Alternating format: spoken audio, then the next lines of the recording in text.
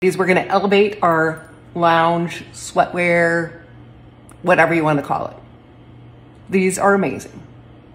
When I looked at the picture, I was not sure, but then I looked at the reviews. Always check the reviews. I always do for you girls. Ah.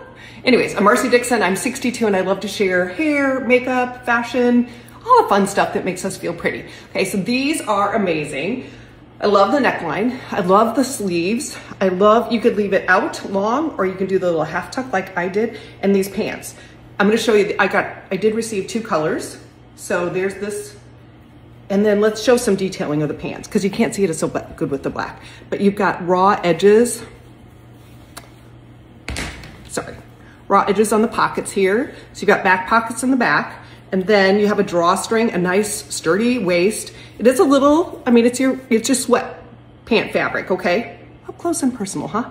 Then you have the front pockets that have the little raw edge detail too. But girls, you need this one. I just love it.